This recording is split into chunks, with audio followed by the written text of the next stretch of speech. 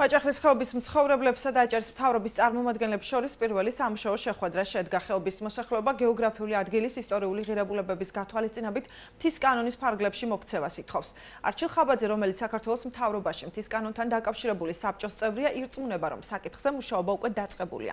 აღსანიშნავია, რომ მთის კანონი 11 მუხლისგან შედგება და მისი მიზანია იმ შეღავათების განსაზღვრა, რომლებიც უზრუნველყოფს მაღალმთიან რეგიონებში მცხოვრებ პირთა კეთილდღეობას. შეგახსენებთ შეღავათებით სარგებლობის მოთხოვნით მაჭახლის ხეობის მცხოვრებლებმა არაერთი აქცია გამართეს.